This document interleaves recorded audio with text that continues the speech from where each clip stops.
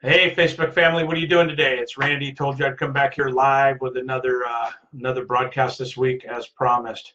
Anyway, th- today I want to talk about uh, morning routines. You know, I've been kind of obsessed actually about morning routines as of late, because you know when we went to the Tom Ferry conference down in uh, Palm Desert, Tom Bilyeu, which he's a, an animal, he's amazing. I keep talking to all these high powered producers that literally um, you know they are some of the elite minds of both the industry and, and what else is uh, going on in, in, business. And they all have these powerful morning routines. And i've been into morning routines for about a, a year now. And hey tim and deborah how you doing? Thanks for joining us. So i'd love to hear from you what your morning routine is. You know for me it's getting up early enough to really sit down and you know it's funny meditating i don't know what meditating is i gotta be honest. It, it's more like quiet thinking and then tom Bilyeu said thinkitating i go i love that. That's me. Because i can't quiet my little ADD brain down enough to meditate by any stretch but i would love to. I honestly would would find value in that. But for me it's not that. It for me it's really um, just quieting down the noise in between the ears so i could focus on uh, what i'd like to accomplish that day so for me, that's a that's an important piece of it. I turn on a little music and I, you know, it's so foo-foo for me to talk about. I got to be honest with you. I never in my wildest dreams thought I'd be talking about meditating live on Facebook, but I found so much power in it. And you know, it took several people that I look up to, Tom Ferry, Tom Bilyeu, Anthony Robbins, Rob Dyrdek did a you know from ridiculousness did an interview with with uh, Tom Bilyeu that I watched this morning, and it was mind blowing. And here's this guy that you picture as a stoner skateboarder. You know, that's really what he is and what he does. And here he was talking about how he really goes deep to get, you know, in meditative state to really have clarity. And and I was like, man, okay, I can I can embrace this now because some of my idols are saying they do it, but for me, quite frankly, it's more of a thinkitate. It's more of quieting the brain enough to get clarity in some areas and asking the question of what it is going on. So I'd love to hear from anybody uh, that's on today. You know, what are you doing as a morning routine? You don't have to say you meditate. I mean, if you want a big bear hug like me and don't admit that, I get that. But tell me what you do in a morning routine. For me, it's reading five to 10 pages of a great book, something inspirational, motivational. For me, it's bringing in a video that is inspiring to me. I watch a lot of Tom Ferry videos. A lot of you know I coach with Tom Ferry International. Love that. Have uh, some amazing clients. Been coaching all day today. Probably why I'm fired up. Um, I'm a little bit wired from the ketone diet that Deborah's got me on. I got to say, I, am starting to get kicked in with the ketosis and feeling feeling great. But um, you know, I'm normally a wiry guy anyway. But I get really fired up on my coaching days. I've had literally probably 13 clients back to back to back today. But I'd love to hear from you. What do you do as a morning routine, or do you do a morning routine? Because this this fascinates me. Uh, how this keeps coming up with top top minds, um, and and what you know what happens with the morning and setting up the day when you do do it like that, right? So thank you. I see Josh just joined. So, you know, Josh, Anthony, Tim, anybody, do you do morning routines first of all? Respond into it and let me know if you do. I got a client calling me right now. We're gonna gonna talk as soon as we're done with Facebook Live. He probably saw me on Facebook Live and called me. Camille, thanks for joining. How you doing? Hey, I know I can count on Camille. Camille, do you do morning routines on a daily basis? Can you reply and let us know? Because I'm curious. For me, my morning routines have really changed the landscape of how my day is established for me so what i'll do is i'll go through my you know my workout in the morning even if it's short. And um, there's a great book um, that i read recently. I'm gonna it escapes me now and i'll think about it in a minute but it's about morning routines. And what it talks about is really you could break it down into like six minutes where you're doing one minute of meditation one minute of exercise and moving your body one minute of reading a book.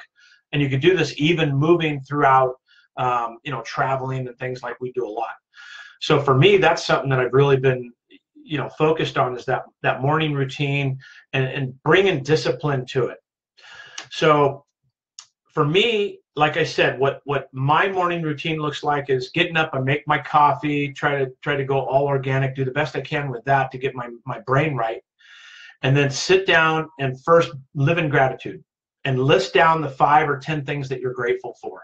And this is a powerful for one because you know I have these big visions of five and ten year things I want to accomplish. I, I have, and this is not a, an ego or bragging thing. It's just it's it's more of a, a a weakness of mine. I have four or five businesses that I I'm engaged in or I want to do from building houses to real estate to coaching to you know other things that I aspire to be doing.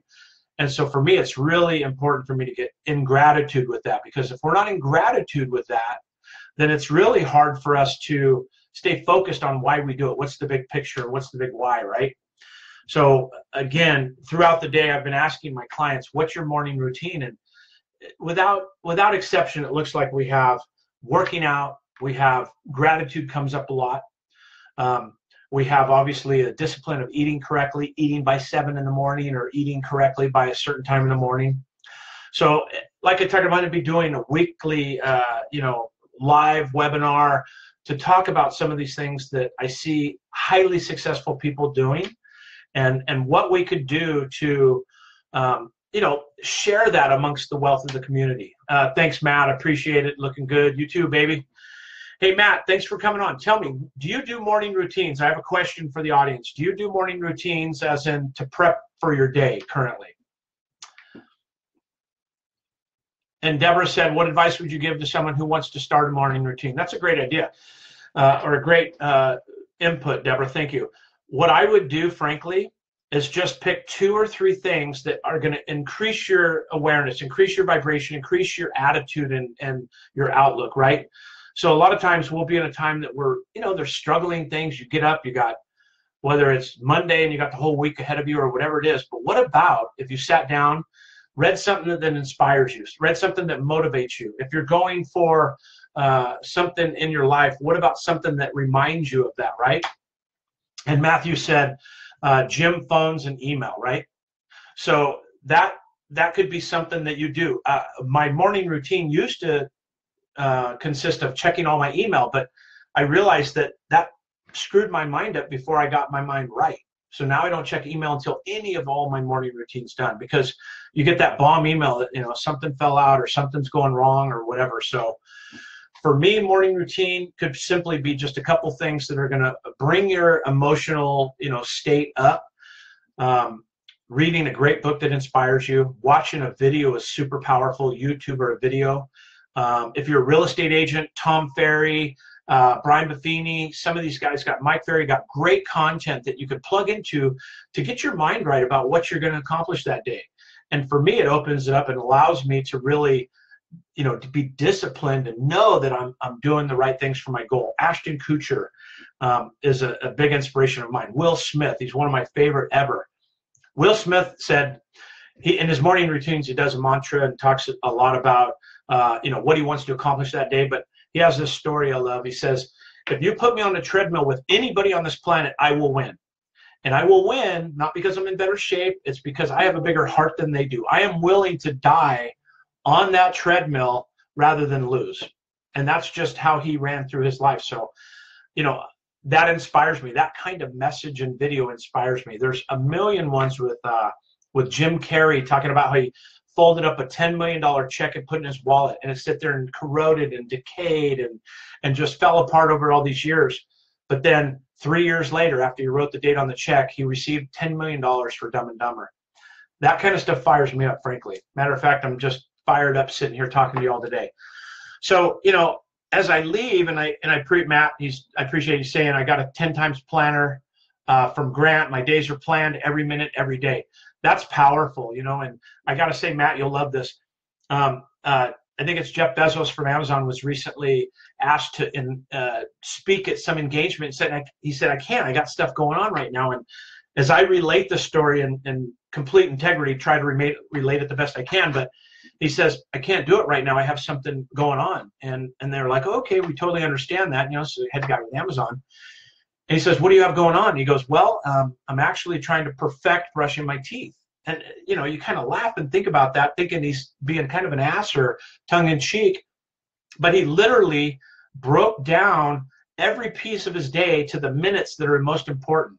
And Matthew, I'm going off you right now, planning every minute, every day. That's that's a tough one to do, but think about if your life was worth a million dollars a minute, like Bill Gates or Amazon or somebody like that. How purposeful you would have to be about showering, brushing your teeth, and the basic things that go on during your day. So for me, the morning routine thing is big. I'd love to share it with anybody that has any questions or anything as we progress. But you know, um, find a morning routine if, if if this suits you. I'm not I'm not shoulding this on you. You know, I kind of make fun with that. I'm not shoulding it on you. You shouldn't do anything you don't want to do. But think about the power if you if you're purposeful about a morning routine, really focused on things that bring you up in spirit, bring you up in, in elevation of personality and, and your belief system around things you want to accomplish, whether it's personal, professional, whatever it is, right? And then focused on those every single day to get to a point where you really loved that time, where you really wrote out 10 things you're grateful for. You know, I love that writing 10 gratitude things. Try writing 20 or 30. It's crazy. You'll you'll get like 15 down and you're like, I'm grateful for I'm grateful for this green cup that I can drink out of. I'm grateful. It just gets silly because you run out of things that you believe you're grateful for. But really, it is important. Um, and, and reading something that inspires you and motivates you, or a video of something every day, is, is very powerful. And then, of course, being committed to your health, being physically, start out small with jumping jacks, calisthenics, a couple weightlifting things, whatever it may be. Uh, you can do the ketone diet like Deborah's got me on, but um, I, am actually enjoying it. I got to be honest. I don't know anything about it. I, you know, well, that's another another show or another time. But anyway, I appreciate all you. I got to get on a coaching call right now. I see them calling in. I appreciate it. Thanks for being here. I'll see you next time. All right. Bye for now.